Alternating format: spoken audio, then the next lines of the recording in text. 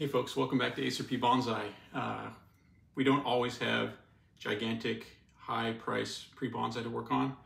Uh, so in this week's episode, we're gonna take a look at these smaller maples that I've got here and show you how we can create some pretty dynamic compositions using even humble material. So what I have here on the right-hand side is a purple expressing seedling that I've been growing for three years. I collected this in New York in the spring of 2021. And this particular seedling out of all the ones that I collected is strikingly beautiful. It has this really nice purple shade in the summertime. What I plan to do is allow this to extend quite a bit this year because I want to take some clones off of it. I think it's uh, got such a nice set of characteristics that others might want to use it as well in the future. So I'm going to try to make some more of these. Over here, I've got the only truly successful Deshojo cutting I took a few of these over winter and unfortunately a lot of these suffered in the transition from winter LED lighting out into the greenhouse. I'm hoping those snap back so there should be some more and I will of course take some midsummer as well but this little uh, cutting here I've already got a little bit of silicone wrapped aluminum on it. We'll take a closer look later but I've gotten some nice movement into the strongest lowest branch on this cutting. There's another few nice shoots coming from one node higher on the original cutting and we're gonna probably just let those extend this year. And then lastly, in the front, we've got this Nishikigawa. So this is the uh, corking bark or pine bark um, Japanese maple here. There is one additional cutting here. I think it's still alive. These buds have not pushed yet, so we're not gonna forget about this little guy when we do the repotting. But in all of these cases, today we're gonna be creating root over rock compositions. Um, I think that's really great uh, when we're working with non-grafted stock to potentially highlight the natural non-grafted rootstock. I don't know if there's going to be any characteristic difference on this Deshojo, but I think it'd be really cool to create a root over rock just because it's such a unique rare cultivar. And let me grab off camera here. I've actually got this Afghanite stone. This is a really beautiful gemstone. It's got these bright blue veins through it and then also it looks like at the top that's some sort of an iron pyrite, so it's got that gold color. It's kind of got that red, gold, and blue and white. This is like the ultimate America bonsai here. So I want to pull this out and do a root over rock on this Afghanite stone.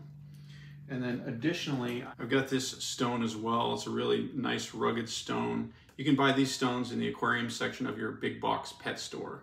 Uh, they either are like this or you can also get the dragon stone at a fairly decent price and those work great. This has a really nice character to it, but the muted colors I think will go well to highlight the corking bark of this pine bark Nishikigawa Japanese maple. And then this last tree, like I said, the seedling that I've been growing for a few years here, I pulled it out midsummer and flopped it on top of this stone. So we're gonna have to do a reworking of that and make sure that those roots are in really good contact with the gemstone. And I'm gonna just let you guys see when we uncover this what we're working with here. Okay folks, so before we get started with the tree, we wanna make sure we have our pot set up. I'm gonna go ahead and pour some larger grain pumice down here at the bottom to get our aeration slash drainage layer.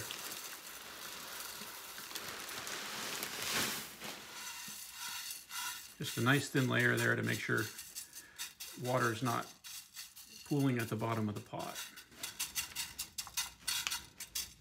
Then we're gonna put down a layer of triple redline Akadama. And this is some recycled Akadama. There's a little bit of organics in here and a little bit of medium pumice. Uh, no big deal. Get that moss out of there. We're just gonna get that down there as a base layer. So with this Akadama here, we're bringing the soil surface about halfway up the total depth of the pot, and we'll be able to potentially push some of the roots down a little further into this. But this is gonna be about where we start. Here's our stone. And we want to be able to highlight all these different colors. We've got this nice gold area here and then the blue. And we're probably going to have the stone in the soil about something like that. So we're going to try to position the tree somewhere here along the top. Probably not at the very apex of this rock, but somewhere along the side in one of these nooks or crannies here. Push that to the side. All right, so the next thing we're going to do is pull our little Deshojo out of this pot where I've had it developing. I took this cutting very late last fall on second flush growth. Oh, this is really in there. If we can get that to release. Okay, oh, this is amazing. We seem to have a nice profusion of roots here. I've got this in mostly perlite. I'd say about 75 to 80% perlite with a little bit of akadama. And then there's still some of the sphagnum moss from the original container I had it in after I rooted it. Uh, later this summer, after the first flush of growth hardens off on our maples, I'll be doing some demos on how I propagate these specialty variety Japanese maples. All right, let's see what we're working with here.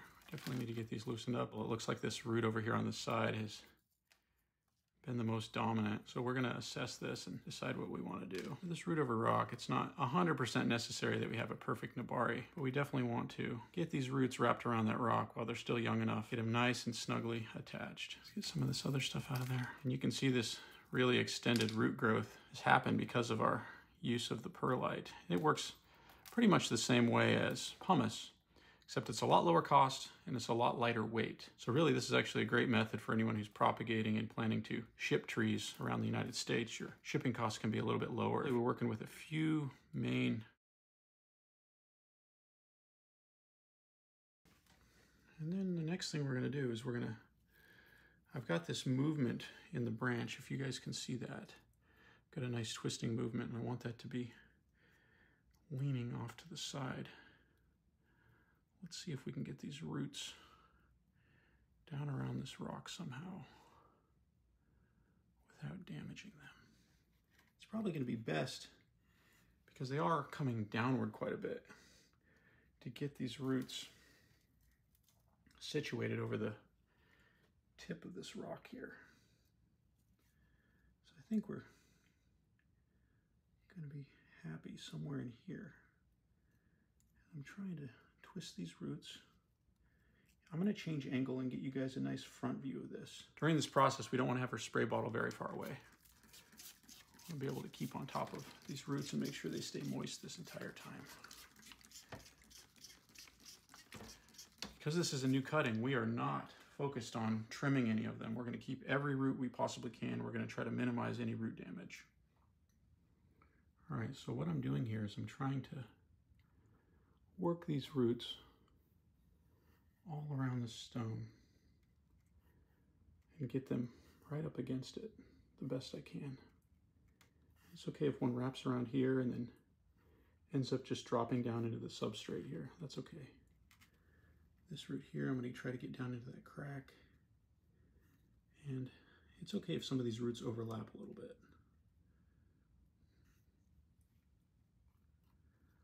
Really just doing everything we can to get these roots down in close contact with this rock. This is a very young cutting, so we still have a lot of time for these roots to develop. There are all these kind of odd roots up here. We may need to reduce some of those, but I'm also okay with making some root pruning decisions in the future. I'm gonna do my very best to keep all of these intact. So we got this nestled down in there pretty well. This is gonna have to be tied in place here. These ones are going out straight. This one here, we want to try to get a few of these convinced to grow around the back side of the rock here. Let's see if we can get a few more of these upper roots. We're going to convince those to go this way. All right, that's great. Off screen, I've cut myself a little bit of this sinew, just a natural fiber rope, and I use this to do some of my Native American crafting. You can also use twine or raffia, whatever you've got laying around. Anything that's nice and soft. Another interesting feature of this stuff is it's waxy. So it doesn't tend to get real waterlogged. I'm just doing one soft knot there. Coming around the back side here. Now we want to hold this tree in place, but we don't want to be too rough because we don't want to choke these roots.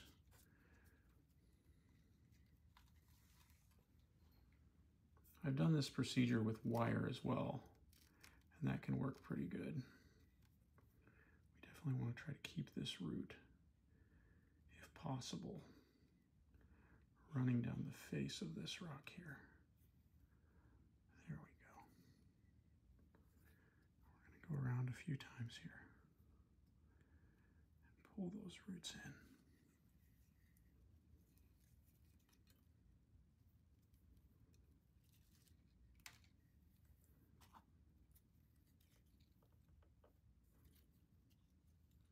This root down and against the stone. You see how we're just applying real gentle pressure here. We're not forcing anything.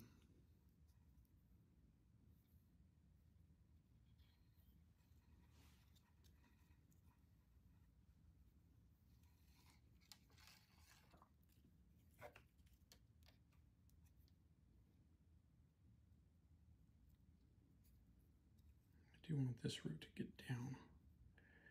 Get on down there. We want you to bury on down into that substrate. I'm going to come under this rock here. See if I can get a slightly different leverage point.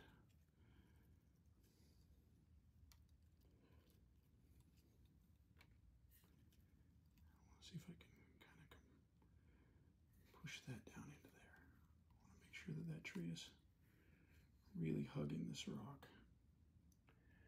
And we're going to allow these roots to thicken for a few years. So that should work fine just like that. There we go. Back this way. Down around here. And because we have these tension points on the edges of the rock, these major edges, the area that pulls the roots in is a little bit more gentle.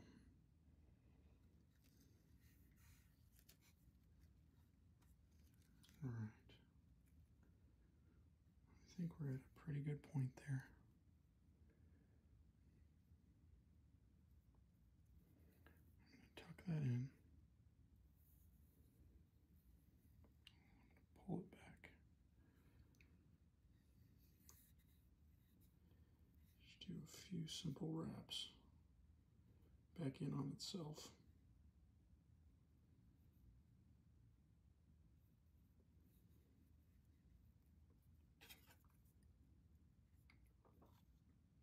Like that. No knot here. We're just knotting the rope in on this no knot. We're just tucking this back in on itself. All right, this is pretty good. It's nice and stable. To position this so these roots have plenty of space. We have a lot of these roots on this side, so I'm going to actually rotate this to allow these a little more room to get on down into the substrate here. There we go. That's going to be nice. Nice spread there. Plenty of room for them to run.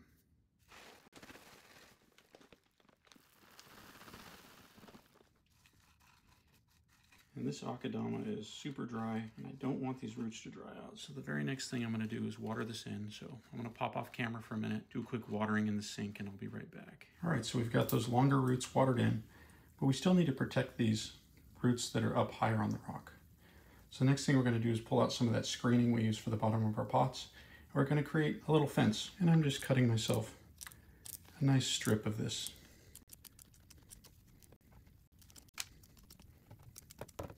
we're going to build ourselves a little fence. Looks like we're going to need another piece to go around the backside.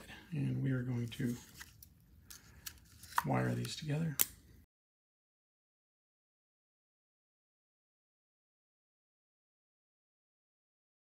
All right, there we go. Let's get the other side together.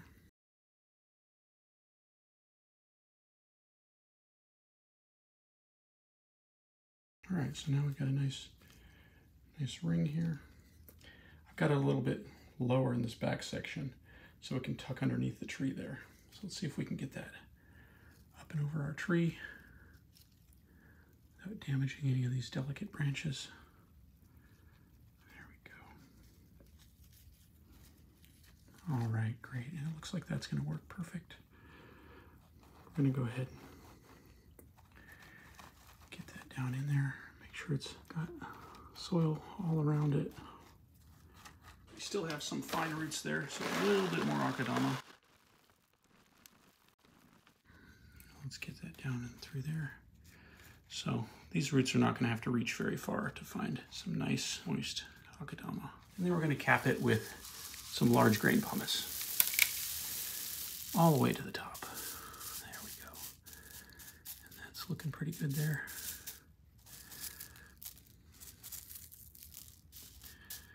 And it's going to go all the way up. Make sure we're covering that up. I'm going to come over the top of this with some nice water moss to make sure we have a nice humid environment for these roots to extend. All right, I'm going to go ahead and water this in one more time, and I'll be right back. To make sure we don't lose our humid environment around these delicate new roots, we're going to add a layer of moss over the top of this. And this moss is also going to help the pumice from falling out of our little cage here. Spin this around so y'all can see the side view here. So we've got this set up nicely. Now, we did do some wiring on this strong branch here and it was positioned in a different angle. Uh, eventually this branch is going to be the primary trunk of our tree and I want to bring this back over the top of the rock. I'm going to be very delicate here. The last thing we want to do is to damage this super important branch. And I'm going to twist this a little bit more here. So now this is going to be great. It's got a nice twisting movement and it's going to have this trunk come back over and it'll cascade almost over the other side of this stone in the future. You can already see that the nodes are extending quite a bit here, so eventually this may get cut back, but for now we're going to let that run as long as it wants. We have a really long straight node right here on this original wood that we used for the cutting. Now that I think about it, I'm kind of cool with allowing this branch to hang low. This might create a nice effect. So let's consider this branch off to the side, something to help thicken and grow those roots we're probably going to eventually take this as a new cutting in a year or two, or we may air layer it if we allow it. That is the original Gangster OG to Deshojo here, not the Shin to Deshojo. So this is a really delicate, classic variety of Japanese maple. That red doesn't hang on as long as the Shin to Deshojo, but I think there's something really subtly beautiful about it. I love this yellow-green veining in the center of the leaves. It's just really quite nice. As you can see on these older leaves, they've already started to turn green. And the rest of that red will continue to fade out until it's a nice hunter green color by midsummer. All right, so again, we're gonna prep our container here with a little bit of large grain pumice. Got our thin bed of akadama there. It's gonna be our rooting layer. And then here is our nice stone. And I was really lucky on this tree. I only got one or two leaves burned really badly in that transition from the indoor LED light out to the greenhouse. So I've been really watching these carefully, but I did have some damage to quite a few of my rooted cuttings over the winter, unfortunately. We gotta be careful of this little guy. This is another Nishikigawa cutting. We don't want to damage it.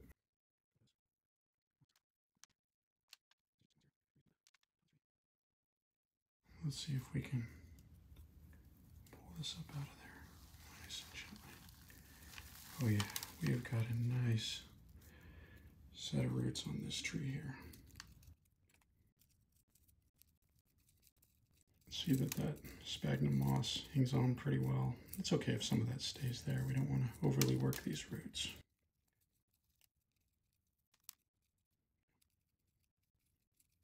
I don't want to overdo this. These are some really nice fibrous roots. Our little guy in the corner is doing well. Boop, boop. Oh, this is beautiful. So let's get this into position here. All right. We are going to do everything we can to position these little fine roots down into these crevices. So we are going to use this twine again. Get this knotted around here without hurting anything. Remember, we can gradually tighten this with successive winds. We don't have to get it all in that initial knot. We just need to get it in place. The amount of time and effort we put in now is going to pay us back as we get these roots right where we want them. Hold that string in place here as we go we don't lose the tension we've already built. This front root here is really strong. I need to apply firm pressure to get that to hold in place.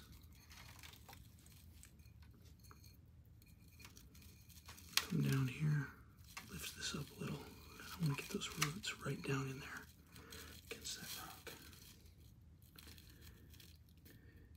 Here.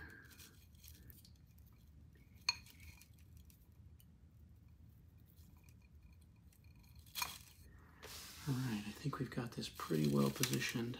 Roots oriented down through these cracks here. It's gonna look really nice in the future as this grows in. We don't wanna allow these roots to get dry. Make sure you're spraying this off nice. Keep those roots nice and moist.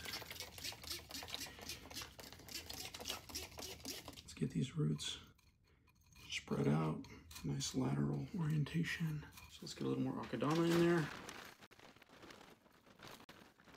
All right, folks, I'm gonna go off camera for a minute and get this watered in.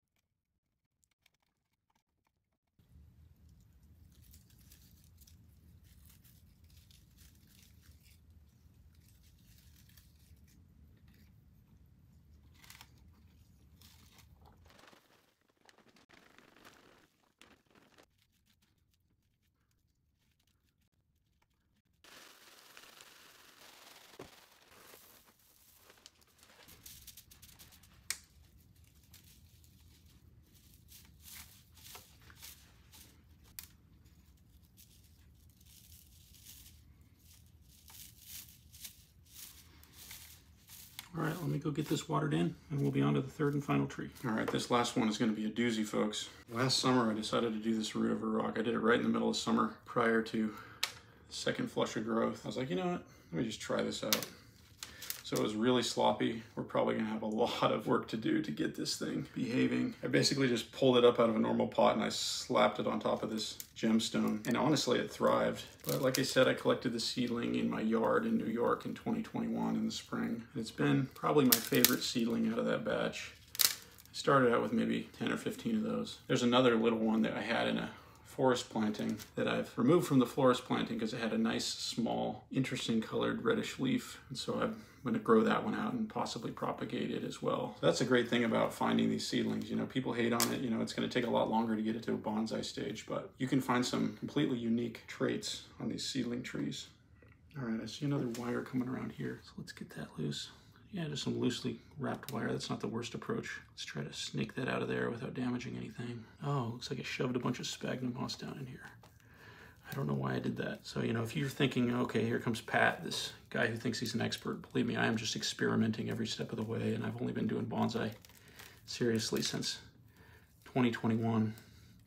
I got back to the States at the end of 2020 from my tour in Japan, and I was like, you know what, I got to get into this bonsai thing. So I've been head first ever since, diving deep right into it. So, you know, if you see me doing something wrong, feel free to get in the comments section. I'd love to share ideas and continue to hone my skill. Okay, I'm gonna see if I can pull this out of here without hurting anything. All right, here we go, folks. I'm just gonna set this aside for now while we work this out. And I can also see that I used Akadama instead of pumice.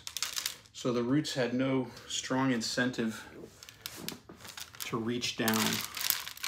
And they continued to grow right up at the top here.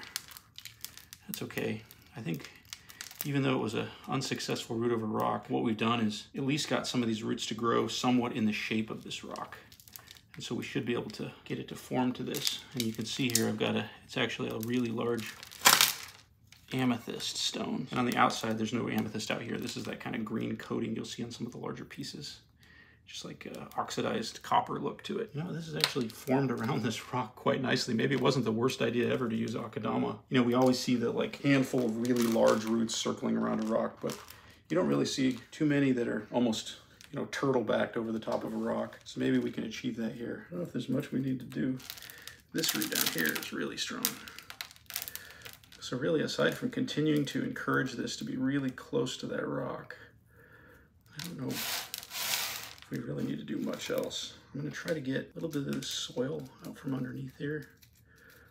Make sure this tree is pressed solid down into that rock and it seems to actually have a really solid contact there. Here we go folks, this is what half a year vascular growth will do. I think these roots have probably at least had a 50% increase. I see what I was doing, I was trying to use that sphagnum moss to shove these roots back inside of here. I don't know if that's gonna work too well, but I think what I can do is wire flexible tubing here. What I'm gonna do is I'm gonna organize these roots just a little bit, push these roots back in there like that. Get those wires. There we go. And we're going to wrap those gently around the back. And on the back side here, we're going to gently twist these together. And hopefully that'll stay. There we go. Just hooks like that to keep them in place.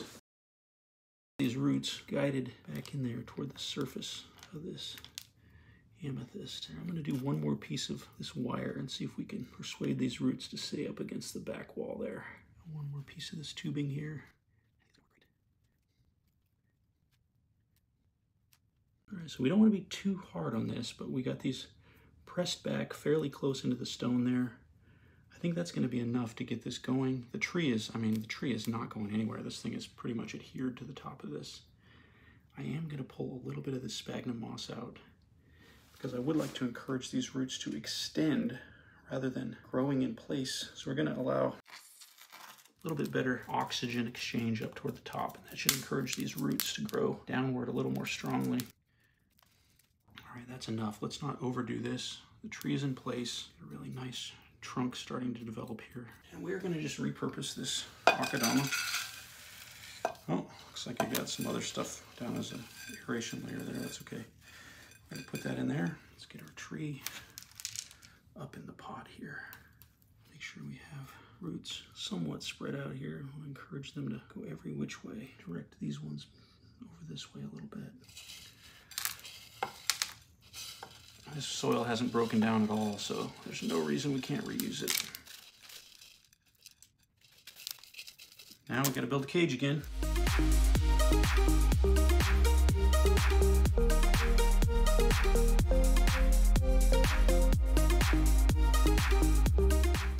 Got this all filled in with large grain pumice.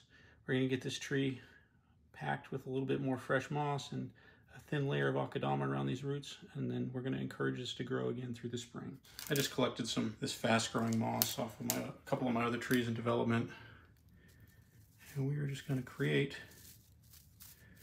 a nice cap. What do we got here? we got one of Megan's little characters here. I can leave that guy there.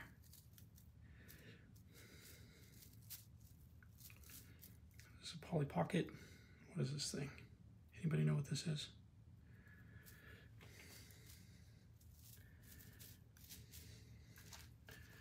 Some really nice dense moss here. it's almost like too dense. Yeah, see how thick that is? We're just gonna wrap that right on over. Turn this around. Yeah, and that's what we're gonna do. We're gonna just wrap this moss right up in there. I doubt this tree will even skip a beat. It's gonna just keep on growing right through spring. Let's get another piece wrapped around the back here. There we go. Nice carpet of moss. Moss is like one of the best things for bonsai. Now this stuff here, you got to control it to make sure it doesn't grow onto the trunk of the tree too much, but a little bit of antibiotic activity as well as that moisture retention. This moss really does wonders on developing trees. You just pack it all in there. All right, so that's kind of what we're looking for here. Another little bit right there. I'm gonna come through here with a little piece of this aluminum wire. I'm gonna wrap that. Let me come around so you can see. Got it on this flap here. I'm gonna come right over the top of that moss.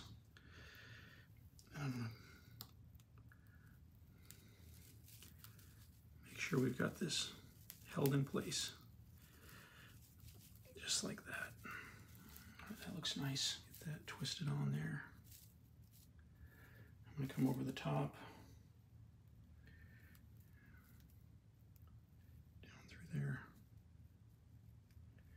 Yeah, let's go ahead and hit right into that corner there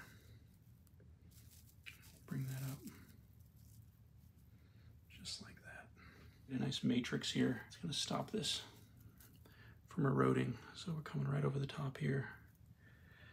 There we go. We've got these two crossing here. Let's twist these together. There we go. I've got a nice firm foundation there. I'm gonna bend this tip in and just stab it right down in there.